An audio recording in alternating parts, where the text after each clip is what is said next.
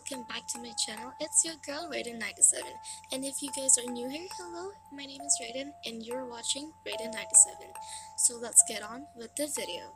So as you can see from the title, we're going to do an FX makeup entitled See No Evil. The first material that we're going to need is basically stocking, black specifically, then cut into circles that will fit your eyes and then what I'm doing here is I'm applying a powdered foundation with face. Not necessary, but I do so. Then I'm going to apply the circle patch into my eye. But in order to do that, you're going to need a double-sided tape or any adhesive just to stick that into my face, into your face, whatever. You then repeat the process for the other side of your eye. Then for the third step, gather up your cotton balls and of course your glue. We're going to make something, how to explain this, a layer of skin to make it look like, you know, our skin is peeling off because, you know, the eyeball has been removed. I mean, you'll get it when you're watching it, right? Explaining it, I don't know. You can see it, yeah, so yeah, I'm using a paintbrush to apply the glue.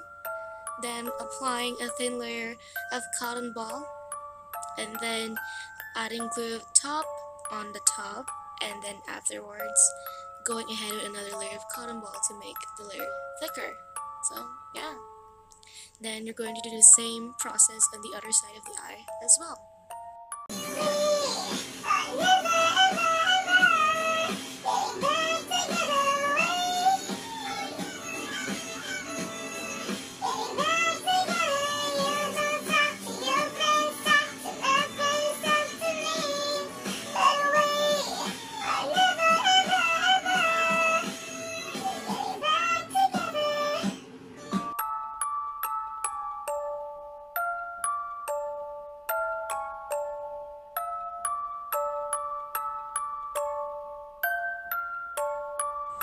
Then in order to make it, you know, dry quicker, faster, you can use a blow dryer.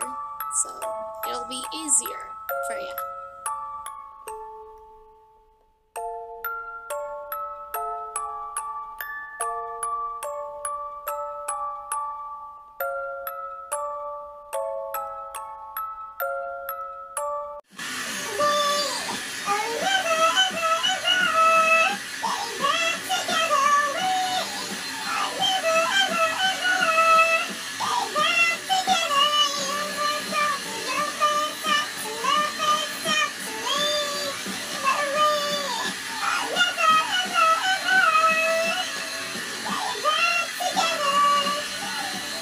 After that, get your foundation and I am using Wet n Wild foundation. I've been using this for like years.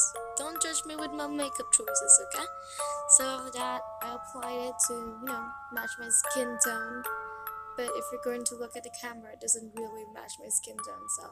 But you'll see in the end, it'll match. So just keep on blending, do your thing, I'll do my thing. Just like